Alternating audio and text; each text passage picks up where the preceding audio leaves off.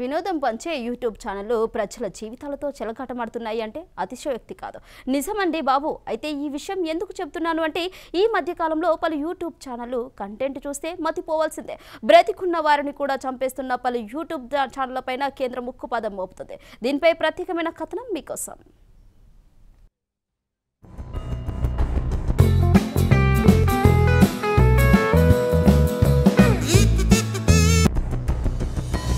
ఇతరుల వ్యక్తిగత జీవితాలపై యూట్యూబర్లు బురద చల్లి కాసులు సంపాదించుకుంటున్నారు. యూట్యూబ్ ఓపెన్ చేస్తే థంబ్నైల్స్ ఎలా ఉంటాయో ప్రత్యేకంగా చెప్పాల్సిన పనిలేదు అలాంటి చూసిన వారికి ఆసక్తి అనిపిస్తుందేమో కానీ ఎవరిని టార్గెట్ చేశారో వారికి చాలా అసౌకర్యంగా ఉంటుంది. యూట్యూబ్ ఛానల్స్ బారిన పడి ఎంత మంది అసూలు బాసారో ఎంత మందిని ఆసుపత్రి పాలు చేశారో ప్రత్యేకంగా చెప్పాల్సిన పని లేదు. ఆ మానసిక వేదన పడేవారికే తెలుస్తుంది.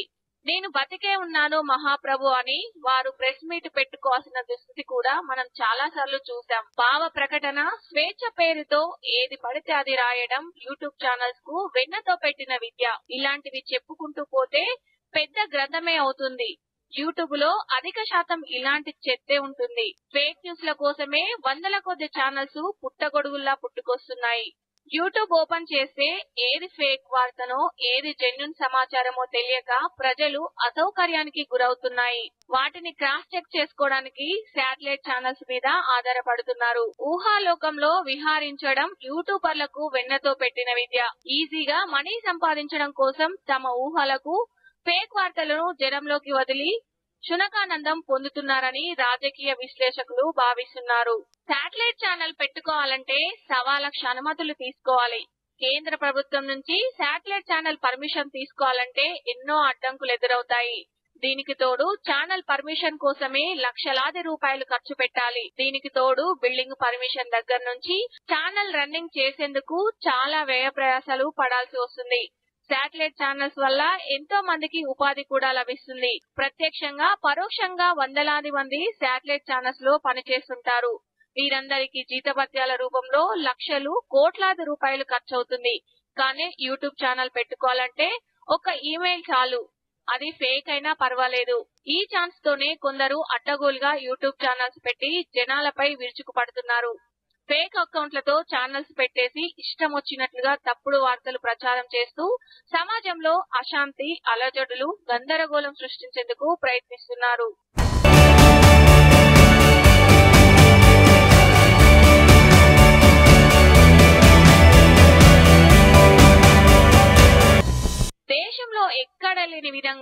ఇరు తెలుగు రాష్ట్రాల్లో పుట్టగొడుగుల వెబ్సైట్లు యూట్యూబ్ ఛానళ్ళు పుట్టాయన్నది జగమెరిగిన సత్యం. కొన్ని వెబ్సైట్లు గాసిప్స్ ఎవరెవరికో లింక్స్ పెట్టి అడ్డగోలుగా కథనాలు అల్లడం అది కాస్త వైరల్ చేయడానికి ఏదేదో పెండింగ్ పెట్టి సోషల్ మీడియాలో హడావుడి చేస్తుండడం మనమంతా ప్రతిరోజు గమనిస్తూనే ఉంటాం.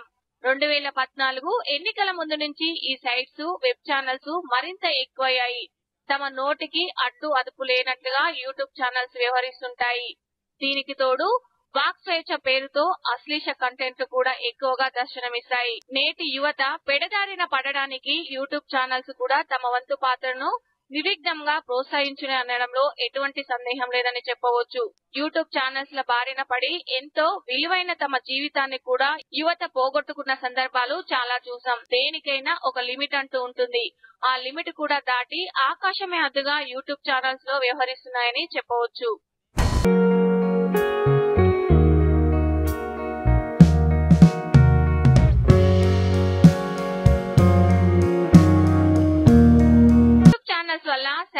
ఛానల్స్ కూడా ఇబ్బందులకు గురవుతున్నాయి. ఎందుకంటే ఒక వార్త నిజమేనని పలు మార్గాలలో ధృవీకరించుకున్నాకే శాటిలైట్ ఛానల్స్ దాన్ని ప్రసారం చేస్తాయి.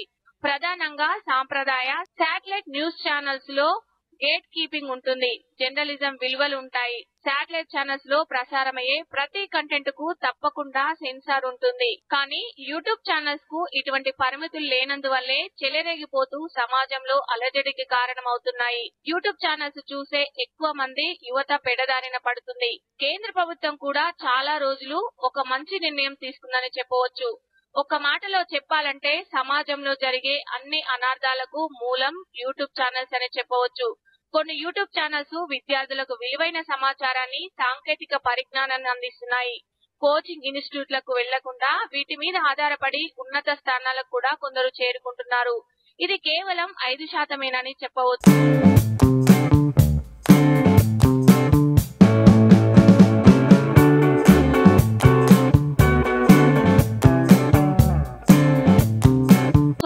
మీడియాకు దాదాపు ప్రముఖులందరూ ఏదో ఒక సమయంలో బాధితులయ్యారు.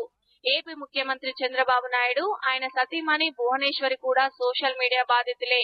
వీళ్ళే కాదు ఎంతో మంది రాజకీయ నేతలు వాళ్ళ కుటుంబ సభ్యులు కూడా ఇబ్బందులు ఎదుర్కొన్నారు. ఇంకా ఎదుర్కొంటూనే ఉన్నారు. ఇక సినిమా రంగ ప్రముఖులు కూడా ముఖ్యంగా సినీ రంగంలో ఉన్న మహిళలు కూడా యూట్యూబ్ సోషల్ మీడియా బారిన పడి కేసులు కూడా పెట్టిన సందర్భాలున్నాయి. తమ వ్యూస్ లైక్స్ కోసం అబద్దాలను వండి వాచడంతో కొంతమంది రాజకీయ నేతల భవిష్యత్తు కూడా అంధకారంగా మారుతుంది. ఎన్నో ఆశలతో రాజకీయాలకు వచ్చిన యువతను కూడా యూట్యూబ్ ఛానల్స్ తమ అసత్య ప్రచారాలతో నిర్దాక్షిణ్యంగా చిదిమేశాయని చెప్పవచ్చు. ఎంతో భవిష్యత్తు కలిగిన యువ నేతలు కూడా వీరి అరాచాలకు సమిధులుగా మారి రాజకీయ యావనికపై కనుమరుగైన అనుభవాలున్నాయి. మొత్తానికి కేంద్రం సవరించబోతున్న బిల్లు ఇప్పటి వరకు బహిర్గతం కాలేదు. అయితే విశ్వసనీయ వర్గాల సమాచారం ప్రకారం ఇన్స్టాగ్రామ్ యూట్యూబ్ తదితర సోషల్ మీడియా వేదికల్లో ప్రజాదరణ ఉన్న వారిని ఇకపై డిజిటల్ వార్తా ప్రసారకులుగా గుర్తిస్తారు.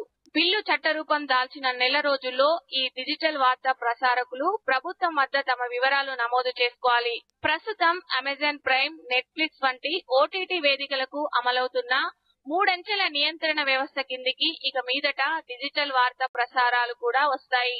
ముందస్తుగా సమాచారం ఇవ్వకుండా ప్రభుత్వం ఈ డిజిటల్ వార్తా ప్రసారకుల కార్యాలయకు తనిఖీ చేయవచ్చు. నిబంధనలను ఉల్లంఘించిన వారిపై జరిమానాతో పాటు నిషేధం విధించవచ్చు.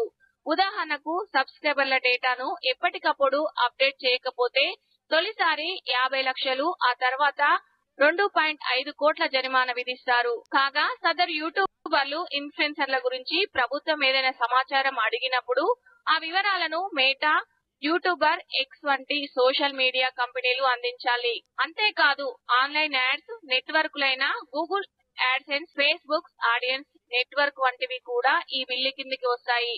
దీనివల్ల యూట్యూబర్ల ఆదాయం కూడా ప్రభావితం కానుంది.